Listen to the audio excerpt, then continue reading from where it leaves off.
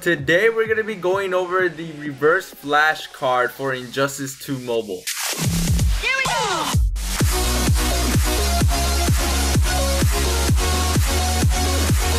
Yo, what is going on guys? Chewy here and in today's video, today we're going to be going over the reverse flash card for Injustice 2 Mobile. Now I just want to let you guys know that this was custom made. I created this and it took honestly a long time. That's why you guys see like the little text of my Twitter and everything because I don't want people to steal it and think it's theirs. Clearly took a while to freaking make. But yeah guys, this is just a little displayment and how you guys can see it. I was planning on making the symbols for the reverse flash for like their special special 1, 2, and 3, etc. But I'm actually going to be demonstrating those on the console version, so you guys are going to probably see that right now real quick. And this is like going to be the first, second, and third special as well. Let me know if you guys have any other ideas from the characters from the console version that haven't been added into the mobile yet. If you guys want an idea on how they look and everything and demonstrate the combos as well for the specials. So yeah guys, I hope you guys enjoy.